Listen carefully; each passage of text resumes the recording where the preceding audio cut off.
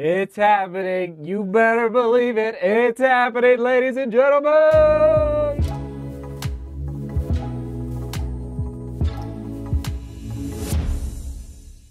Now, listen, everybody. I love doing this.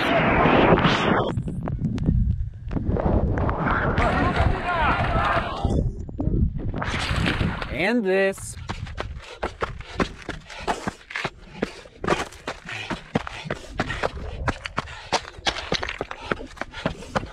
But I also love this. Uh, I don't see anybody. You're looking good, buddy. You're looking good. There you go. There you go. Rocket, baby. Use the downhill. And this. Good work. Good work. Good work. Looking strong. Looking strong. There you go. You got this. Nice work, Sage. And yes, of course, more of this. Let's go, Joseph. All right, Joseph. Nice job, Joseph. Go get him. About 45 seconds to a minute. 45 seconds. Use the gravity. Use the gravity. There you go. There you go. You got this. I'm a glass half full kind of guy. You guys know that. I'm a glass half full kind of guy. Listen, it was hard. I had to call it. No Olympic trials qualifier for me this go round, this go round. But what does that mean? It means I'm going to Atlanta, Georgia for the U.S. Marathon Olympic trials in two weeks. Two weeks from, well, tomorrow when you're watching this. Now, remember when True Love and I sat down, we had a heart to heart conversation about the 2020, the entire calendar year uh, racing and filming schedule. It's time to start prepping for the new decade, the new year, new racing, new filming, Okay. and Yeah. to talk about uh, everything we think we can pull off together. Yeah, a lot. Boom. And remember, there was a little information I was holding back at that little powwow. Here we go, hon. Travel schedule 2020. it's on your screen. And basically, we're actually gonna the first one on the screen. I'm actually not gonna. It's a it's a secret, and so we'll save that for. We'll say that, but we got to talk about it Okay. at some point. And so now you know. It's Atlanta. That's right. I just was mulling it over, thinking about it, trying to discern the right decision. And of course, true love is the best. She said, Seth, you have to go. You've got to go. I know you're not racist, but you got to go film for your people, meaning you out there in the YouTube universe. She gets it. And obviously, obviously, baby Henry. When is he going to show up? I'm not sure, but the only reason, of course, I wouldn't go is if he's not here yet. But I, we think he's going to be here in the next week. And uh, thankfully, I have a ton of family in the area ready to help. And so here's the situation. Uh, so True Love, she's like, she's the best. She says, Seth, you've got to go. You got to go film for your people. So we're going. The plane ticket is purchased. It is purchased. Um, and I'm going to arrive in Atlanta, Georgia, Friday night. And then guess what? I'm flying out Saturday early evening. I'm literally in Atlanta for less than 24 hours, so it's a very, very quick trip, which sadly means I, I cannot do a group run. It's just gonna be too tight because I get in Friday night and then Saturday morning, what am I doing? I'm going straight to the starting line and I'm gonna be filming for all of you. Everyone getting ready, warming up, um, just getting the shots.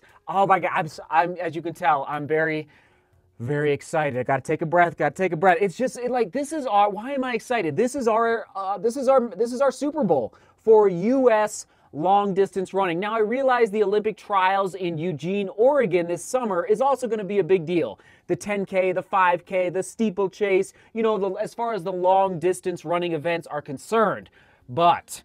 Actually, this is interesting. The amount of people, think about across the United States and around the world. Think of the amount of people training right now for a road marathon versus a 10K on the track or a 5K on the. Like, it's like the abundance of people, at least just off of the top of my head, like, I think there's way more people right now in the world training for a road marathon.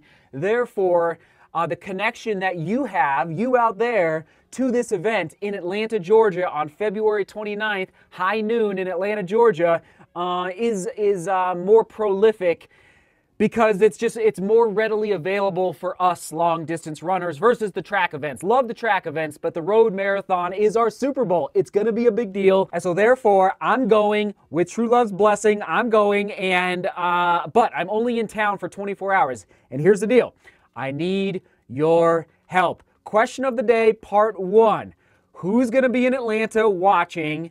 And if so, let us know down in the comments. Also, who's going to be in Atlanta watching and would be interested in helping me film?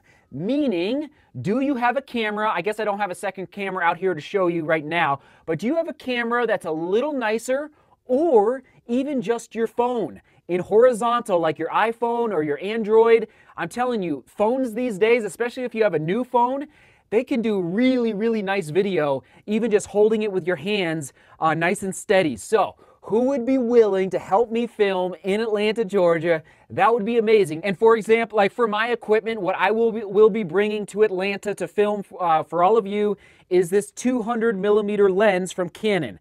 Uh, this is the biggest lens that I own, and it's a solid lens. It gets some pretty nice close up shots.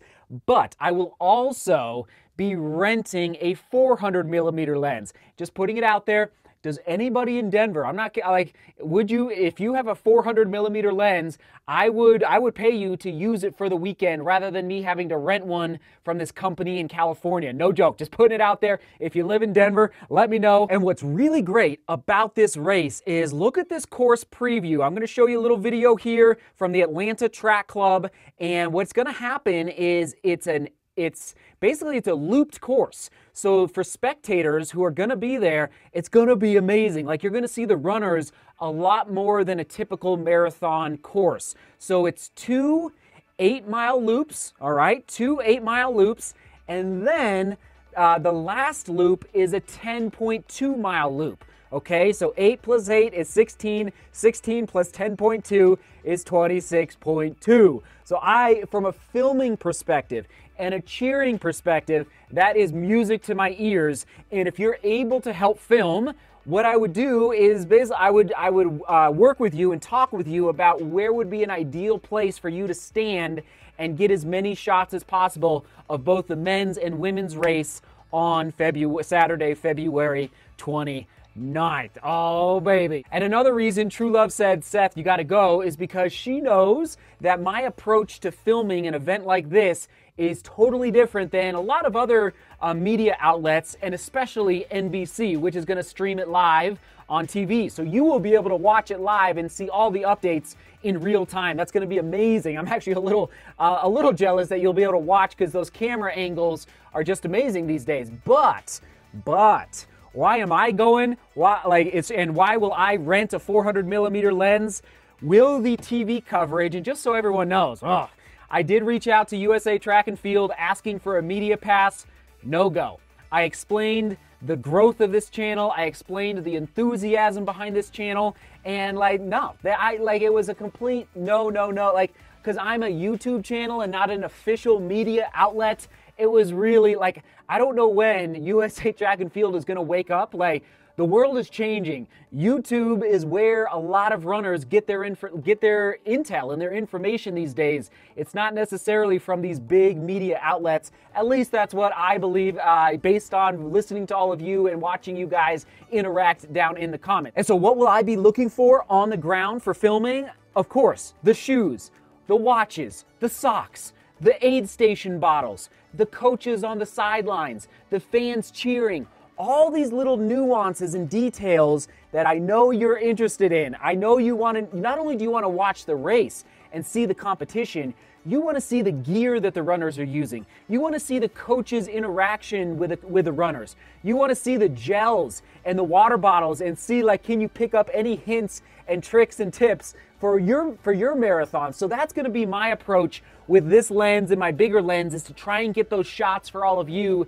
that are outside of the normal uh, filming philosophy of these bigger media outlets that are there to cover the event, but are they going into the details that we runners are obsessed with? So that is my approach, and I cannot wait. It's going to be epic. And so, Atlanta 2020, I'm coming for you. Oh, yeah, one last point is that, or two, two points real quick, is that I will, of course, be hanging around the finish line after the, the races are done. And then I have to, uh, uh, yeah, I have to zip off to the airport by about uh, about 5 or 6 p.m. So um, I will be there to hang out. And like, if you're around the finish line, feel free, of course, to come say hello. We'll take pictures. I just, there's no way I can do a group run. Um, right, it's just there's just not enough time to do a group run for this trip. But at least we could meet in the finish line area. I, there's going to be a ton of people, but oh man, it's going to be epic. Okay, question of the day is let me see if I can formulate it well here.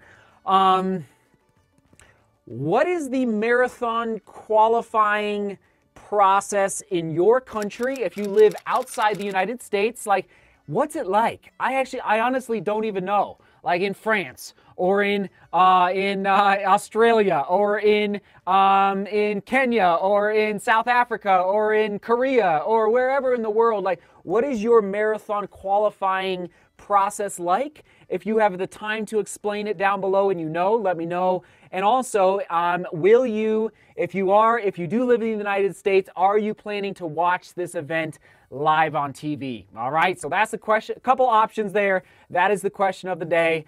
Thanks for hitting it up down below. Here we go. Oh, I can't believe it. Can't believe it. Onward and upward. All right, everyone, we're going to toss it back on the right to the racing playlist with all the racing vlogs from the past, you know, 18 months. That'll be on the right hand side for you to check out. And then on the left, we'll toss it back to the World Mountain Running Championships. I believe that was the last race that I filmed for all of you. All right, everyone, seek beauty, work hard, and love each other. See you tomorrow.